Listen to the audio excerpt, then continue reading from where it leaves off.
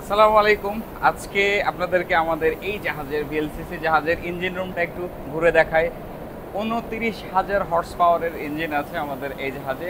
তার সাথে এক হাজার কিলোওয়াট ক্যাপাসিটির তিন তিনটা জেনারেটর আরও অনেক কিছু। আর ইঞ্জিন রুমে প্রচণ্ড শব্দ হওয়ার কারণে আসলে ওখানে যে কথা বলা যাবে না। So only you can watch let's go